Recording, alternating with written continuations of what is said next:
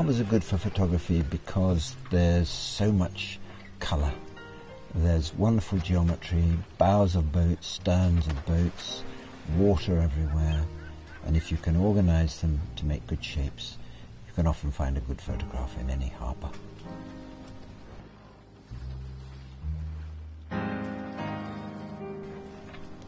I rather like looking for geometric shapes. I like reflections. I love the shape of the bow. I love the hull of the boat. I like that relationship where the water meets the hull of the boat. A seagull is such a part of any harbour, anywhere by the sea. I thought it would be nice to photograph a bird as a reflection. And To have shutter priority gave me the speed that I wanted.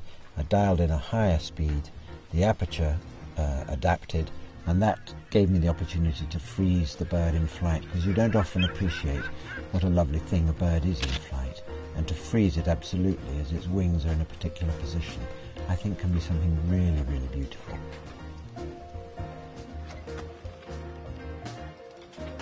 When I'm making a photograph of a bird or any moving thing, it's really, really important to know that when you press the shutter release, you've got the picture and that you have got the bird as it flew into the scene, and that's really important. So the LX5 is really quick response rate. Very pleased with it. The thing that stimulates me to want to make a picture usually is the very first thing that I see. So out of the corner of my eye, I might see a combination of shapes that I really like.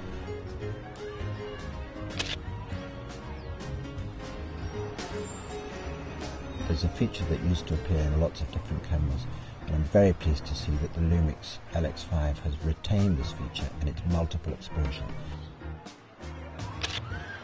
Multiple exposure is essentially just laying one image or two on top of another, and it just produces some really interesting results.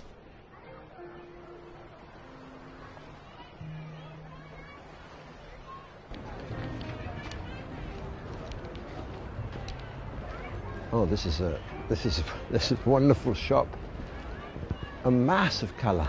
I think I could do a little image here, maybe with a panoramic format. Every colour under the sun.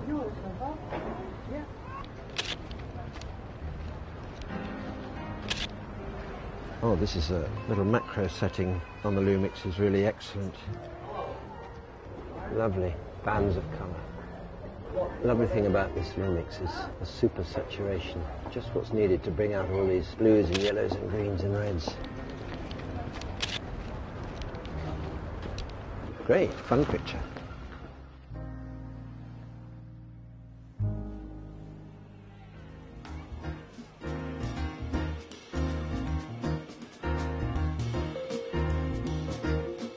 Repetition works really well in photography because you can produce a series of repeating shapes, and repeating shapes is comforting, and it invites people to go down an avenue, right down to a vanishing point.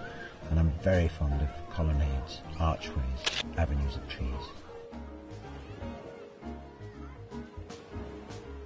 When there's really bright sunlight, it's sometimes quite difficult to see the LCD screen, and this little accessory this viewfinder is great because it means I can see the image almost through the camera. I love photographing something that has within it a sense of history, looking back into the past, looking deep back into the past. And the little macro lens works really well when you want to get in close to reveal all of that history.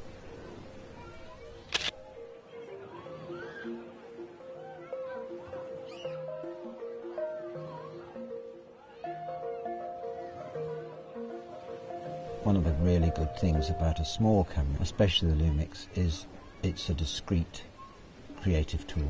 It's very good for when you're working amongst people. Nobody hardly notices what you're doing, and you can steal a photograph just when nobody's really seeing what you're doing.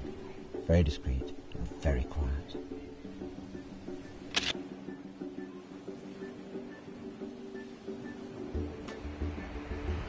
these are a nice contrast to the last colonnaded beach huts. These are bright and colourful. Lovely blue sky behind, good geometry.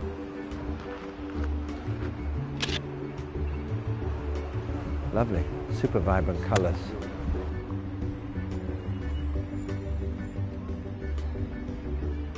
One of the things I like so much about photography is the element of surprise. And just over this wall, I saw this marvellous game of bowls, and it's just really funny to me to see this. People taking it incredibly seriously, really caring hugely about making one ball hit another one. Lots of fun. I hardly think that when Panasonic designed the sports mode in their scene functions menu, they thought that I'd be using it for bowling. It's probably much better for football, a much faster, racier sport. But uh, it seemed perfect nevertheless, because sometimes they threw the ball and I wanted to be able to get that ball just before it hit the ground.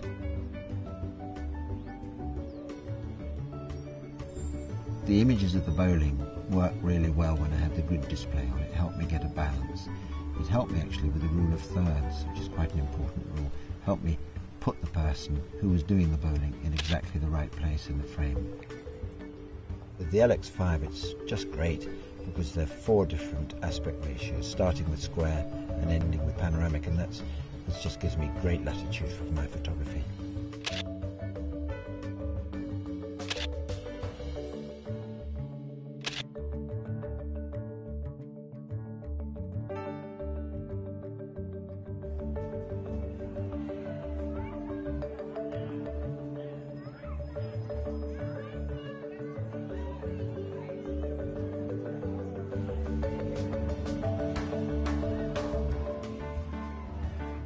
There are times that I want to interpret something like a funfair in a different way. And I thought I wanted to try and convey a sense of movement. And the best way to do that is a panning procedure. The only way that you can pan successfully is making sure that you've got the lowest ISO right down to 80 on the Lumix. And that will give you a long shutter speed. And just pan a little bit from right to left or left to right. And meanwhile, you've managed to stop the main subject. So it still has a sense of movement.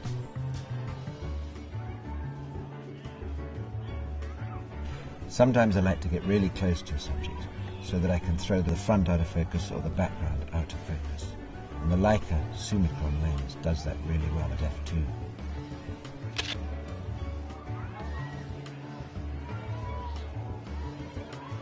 The nice thing about face detection is that it leaves you free to not worry about any technical things and just concentrates on the face. I was quite surprised that it worked with a pirate's face.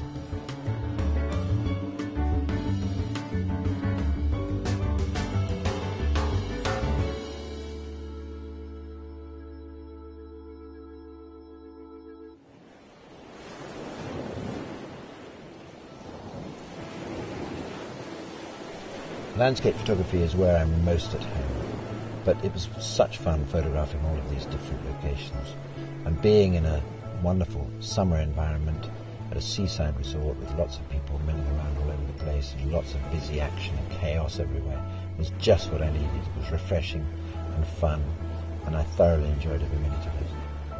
I think the Lumix camera is definitely a very creative tool. It just takes a little bit of familiarity, and a little bit of time, and then you can produce images that will really last forever.